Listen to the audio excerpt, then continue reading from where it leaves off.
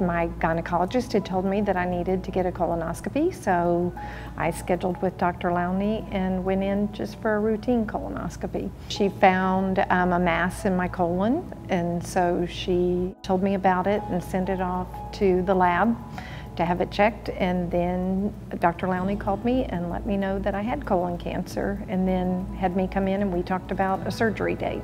Nancy is a typical patient that I see for a screening colonoscopy.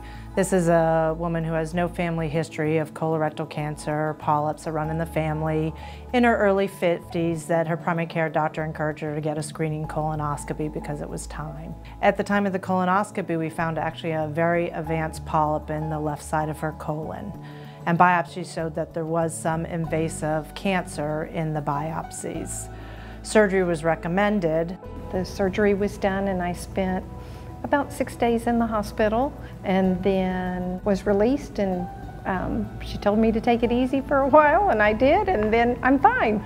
We performed a laparoscopic minimally invasive procedure and she recovered uneventfully and now she's a year out cured of her cancer. Dr. Lowney is very good about explaining things to you. She takes her time with you and makes sure that she's answered all your questions. I feel like not only is she my doctor, she's my friend.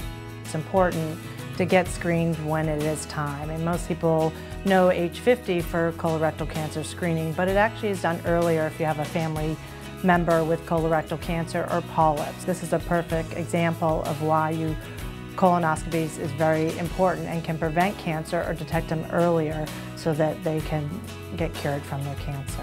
I lost my mom to cancer and so I think Uh, having those checkups are very important that you do and then also it's given me an avenue to tell other people too that it's not bad to do it and you know it's the best gift that you can give yourself to have a colonoscopy and be checked out to make sure you're okay.